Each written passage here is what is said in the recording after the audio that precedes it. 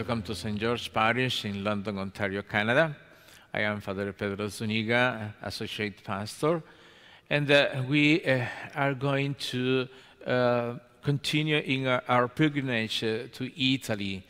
In this uh, second video, we are um, focusing in two images the two persons who are the basis uh, of the foundation of the church, uh, like look like uh, Jesus was found uh, his church, and these persons are Peter and Paul. When you go to Rome, uh, maybe there is a lot of uh, places, monuments, arts and uh, many places where to go. And sometimes you uh, miss the, uh, so, something about uh, these uh, two, per, uh, two persons. But uh, we, were, we, we are going to see uh, these uh, two places in, in Rome where we can, we can see and, and pause for, and make a, a reflection about and contemplate these two images. Wherever you go in Rome, you can see uh, pines, statues dedicated to St. Peter and St. Paul. And there are two characteristics. When you see a statue of a man uh, with uh, the keys in his hands, that is Peter because uh, Jesus told Peter, I will give you the keys of the kingdom of heaven. And uh, when you see uh, the statue with, uh, with a man with uh, a sword, that means he is uh, St. Paul, which, mean, which is because he said, Let us fight with the sword of faith, the good uh, fighting uh, of uh, salvation to, uh, of every man and women. So we will see this, uh, uh, to, um, these two persons and about their, their history and the message that was at, the, at the beginning, at the base of the foundation of the Catholic Church. So the first place where we will um, um, pause for a moment is uh, the uh, place where of the prison of uh, these apostles, Peter and Paul.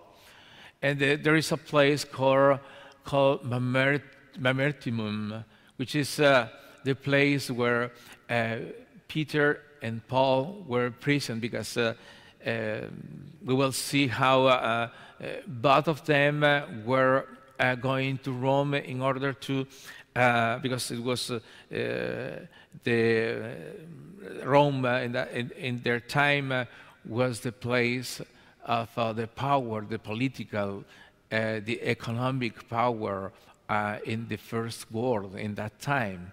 So they were going to Rome and, and they were pre, uh, uh, imprisoned in that, uh, in, the, in that time. And this is the going inside this, this place there, there is a place called uh, Tre Fontane, Three Fountains in Rome. Uh, it, this is the place uh, where um, St. Paul was beheaded.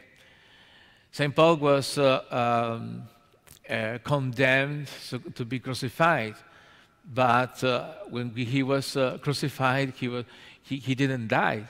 So they decided to behead him. It was the only way to uh, that, that, that he, he, they were uh, putting in practice this condemnation. So in this picture, you see uh, at your uh, left hand uh, um, a little building, and at your right hand uh, there is the abbey of Saint Paul, where Saint Paul was beheaded. Uh, inside these two places, at uh, your uh, right hand, there is the place where St. Paul was imprisoned. And he was there not just like a man um, staying in, the, in his place, but he was working. And St. Paul, the, his um, skills, part of his skills was uh, working uh, the, the skin of animals.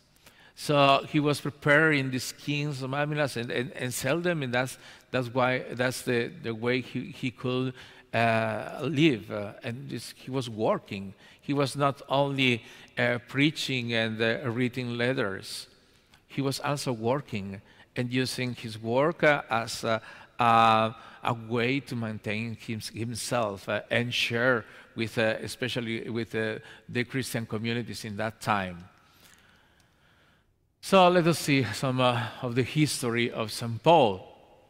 The, uh, the sign you see there is uh, St. Paul is in the in the in the St. Paul's Basilica outside the outside the walls in Rome. So about the history of St. Paul. St. Paul began traveling and preaching and spent time in the desert preparing for his evangelical mission and where he received other revelations. He traveled with Barnabas on his first missionary journey to preach in Tarsus, Damascus, Antioch, and Cyprus. He then went on to, on to preach in Asia Minor, Europe, and Ephesus. Between his missions, he returned to Jerusalem four times and uh, his fifth return to Jerusalem, Paul was arrested and held as, as a, a prisoner for two years in Caesarea. Paul claimed his right as a, a, Roman citizen to be tried in, the, in Rome. And uh, in uh, the year uh, 60 AD, was sent to, to, by sea to Rome in the journey, Paul was uh, shipwrecked and, and uh, delayed in, in the island of Malta. In Rome, he was uh, released after two years and continued with his missions. He returned to Rome in uh, 63 64 AD during the rule of uh, the Roman Emperor Nero. In uh, 64 AD, Nero set fire to Rome and uh, blamed the Christians for its uh, destruction. Paul was one of the Christians who was taken prisoner uh, and was sentenced to death uh, by beheading. So this is from uh, some aspects of his the story of Paul. So as we as we see, we start to contemplate this this place inside, it's, it's just uh, um, a meeting room inside uh, this place where he was, uh, you can see a corridor. He was uh, working there. Can you imagine that? He was uh, there working as any, work, any person is working during the time of his, he, was, he was in prison and he was there and waiting for uh, us the sentence. And then after that, one day uh, there came the, the soldiers, took him uh, aside and uh, to the other side in the in a, in a, um, in a little mountain, and then uh, they crucified him and then uh, beheaded him. And uh, this is uh, the place of the abbey of St. Paul where he was beheaded. And it's called Three Fountains. I will, I, will, I will tell you about that after because I have a picture also the message about uh, this time uh, he, when uh, St. Paul was in prison, he was written many, many letters. And in one uh, and, um, written to the uh, Philippians, uh, he, he wrote, I want you to realize, brothers, that the circumstances of my present life are helping rather than hindering the advance of the, of the gospel. He was always putting everything, uh, focusing uh, in the gospel. My chains in Christ have become well known, not only to all the praetorium, but to everybody else praetorium was uh, the place uh, where uh, it's like the, the, the, tribunal, the, the, where the judge were, were talking about sentence and laws that they were, they were doing. And, and the praetorium was the place where, where he was condemned to, the, to death. And so most of uh, our brothers in the Lord uh, have gained confidence from my chains and are getting more and more daring in uh, announcing the message without any fear. You can imagine uh, in the time of uh, St. Paul, there were also many uh, people who were, who were rich, and they were uh, curious in listening to them, to Paul and Peter. And when the, and that's why in Rome uh, there were many uh, places where uh, who became uh, part of the property of the Catholic Church. And this is because uh, many of them uh, were listening and, and, and converted to the, to the Christianism. And so this is because they saw this in, in like uh, in persons like like Paul, uh, uh, um, the very apostles who were uh, focusing their life in uh, in the gospel, in, the, in the announcement of the gospel. And this is one of the characteristics you can you, you can see also in Rome because uh, wherever you go, you can you can see uh, places uh, which uh, reminds to the gospel. So let us continue. So when uh, Saint Paul was uh, beheaded, it's, it's the the tradition says that in the place it was it was a, a little mountain and a little valley. And then when he was beheaded his head uh, uh, jumped three times in the, in, the, um, in, the, in the floor and moving down. And in every place where uh, the head of St. Paul uh, jumped, there became, uh, they came out uh, a fountain of water. And that's why this, is, this place is called the Tre Fontane, which means uh, three fountains, because uh, inside the, this abbey there you, you can see three altars where the, um, the head of, of, uh, of Paul was uh, jumping, and uh, and you can you can uh, and, and, and they, they say that that there, there were there became three fountains in there. There's not any water now. I don't know if if there is still some water in that place, but what I can see is just, uh, what you can see is just these three altars. So this is, is the, the inside uh, of, uh, of the church. So let us uh, uh, conclude this uh, first part by making a prayer to these two saints, Peter and Paul. And let us make a, let us try to see in this image of St. Paul his, the place where he was, uh, his history, his history, uh, something that can help us to, um, to see the good news of the gospel, even in the middle of sufferings. So now let us pray. O Lord of God, Saints Peter and Paul were leaders who modeled and strengthened the faith of the church. Therefore, I ask Saints Peter and Paul to pray for my faith to grow stronger and stronger every day. I plead with uh, Saint Peter and Paul to pray for me to become mature spiritually. Wherever I become a follower in my relationship with you, weak and uh, uncertain, help me, O Lord, to increase in faith and trust. Dear Lord, uh, enkindle your, your fire that uh, flickers inside me and, and let it become a big flame that brightens other people's lives. Saint Peter and Saint Paul, pray for me. Amen. So now let us continue and let us go back because in the first uh, uh, video I made, uh, we were visiting St. St. Uh, Peter's Basilica, but there are many, many, there are, there are hundreds of histories and, uh, and details that you can see in these places. But let's, let us go back uh, to St. Peter Basilica and let us um, try to um, make a connection between uh, uh, this place and, and, the, and, the history of St. Peter.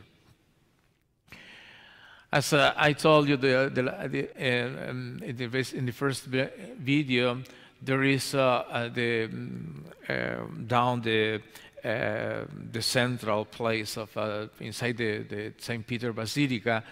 Uh, there is the crypt. It's called the crypt, where there are many tombs. there is the tomb of uh, of uh, um, Pope Saint Paul VI and many other popes those nowadays there is also John Paul I's uh, tomb in this place.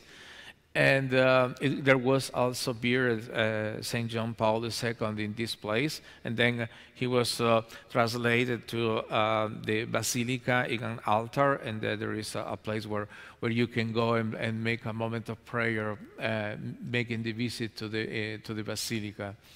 So the, the principal place of uh, this part is the, is, uh, the place of the tomb. Uh, St. Peter was, uh, after he, he, he was uh, crucified and died on the cross, uh, he was buried in this place. it was a, a place where um, for collecting uh, for collecting garbage in that play, in, in, that time, and he was buried in, together with uh, with many many many Christians who were martyred uh, martyred in that in that time, and uh, it was found uh, um, a little tomb with uh, the scripture um, here lies Peter the apostle and so that's the only, the only, um, uh, the only information we have from that time. And this is a place where you, you, you, you can see the altar uh, in front of this, uh, this, this system. And I, I, was celebrating Mass here uh, to year when uh, I was visiting, I was making a, a pilgrimage with uh, some of our parishioners. And uh, this is a, a very particular praise because uh, um, when bishops go to visit and make the uh, to meet the, the, Pope, the Pope, they used to come uh, first uh, in this place and celebrate Mass in front of uh, this uh, of the tomb of Saint Peter. So let us mm, see some of the history of Saint Peter. Peter traveled to spread the gospel and was in Rome uh, in the 63 64 AD during the rule of the Roman Emperor Nero. In the 64 AD, Nero set fire to Rome uh, and blamed the Christians to its uh, destruction. Peter was one of the Christians who uh, was uh, taken prisoner and was sentenced to death by crucifixion. St. Peter was crucified with uh, his head downwards because uh, he did not consider himself worthy to die in the same manner and pastor of, uh, as uh, his uh, divine master. So at the sepulchre of, uh, of uh, St. Peter, you can, you can see the signs uh, at the, in the two um, pieces of marble. You can see at, at the left the cross upside down and the, and the other side at the, at the right, uh, the chains he was, uh, he was uh, when, uh, of his time of prison. So let us uh, contemplate this, this, this, uh, this place. In the back of this place, there is a, there is a little chapel, and you can go there just uh, with an special permission. I was there with uh, our parishioners here from St. George, and we were doing uh, our moment of prayer there, and we did uh, the proclamation of our faith uh, by saying the creed in the, just in front of the tomb of, uh, of uh, Saint Peter. And these are, as, uh, you, as you know, these are this, the, the, most important signs of, the Saint, of Saint Peter Basilica. Saint Peter, the statue, where is which in the place with, uh, with uh, the liturgy put uh, the titular bishop of that cathedral. And then uh, uh, there is the window with uh, the sign of the Holy Spirit, in, which is a dove. And the major altar. You can see the columns of uh, the Bernini altar. The message that you can, uh, we can uh, um, take uh, from uh, this, uh, time, this moment of watching and reflecting about the figure of St. Peter.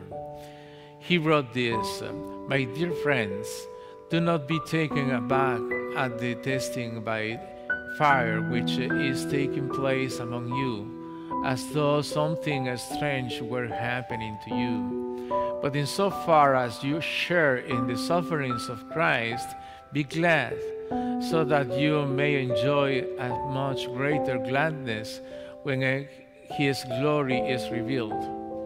If you are insulted for bearing Christ's name, blessed are you, for on you rests in the spirit on you rests the, the spirit of god the spirit of glory.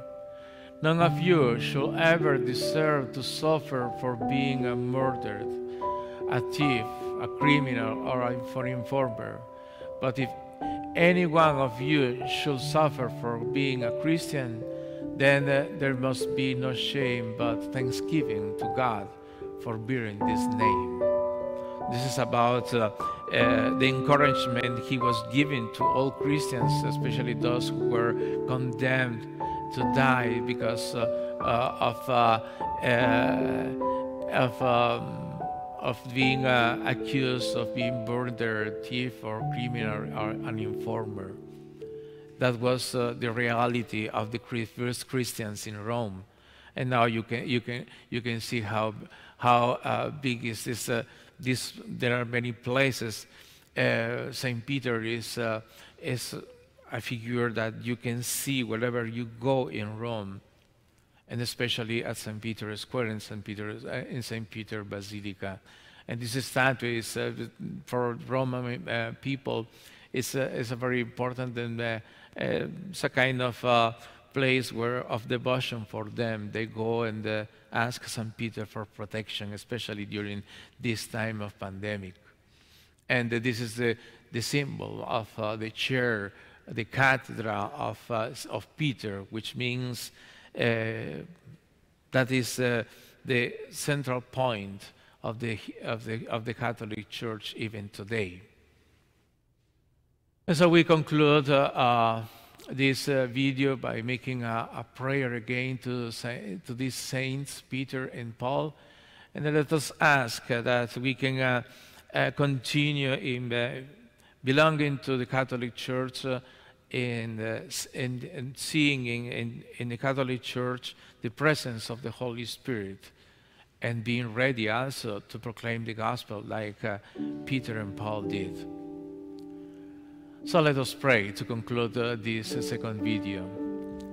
Blessed Redeemer, Saints Peter and Paul were leaders and models in strengthening the faith of the early church. And I ask them uh, to pray for my faith to grow strong. St. Paul wrote in the, his second letter to St. Timothy, I remind you to steer into uh, flame of, of the gift of God that you have. Wherever I am still a baby in my relationship with you, weak and uncertain, I ask St. Peter and St. Paul to pray for me to grow into spiritual maturity. Help me, O oh Lord, to increase in faith and trust, where your presence is, is but a spark in me fan it into the flame that uh, brightens other people's lives. St. Peter and St. Paul, pray for me. Amen. So there are many other things we can uh, we can see in Rome, but uh, in these uh, two videos we were, in the first two videos we were visiting Rome.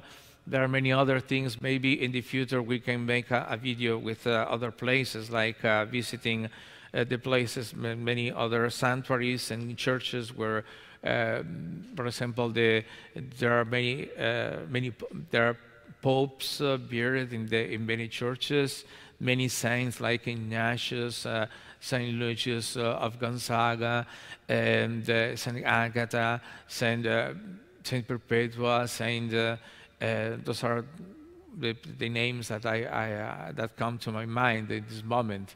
But we, we can we can see that in in, in the future.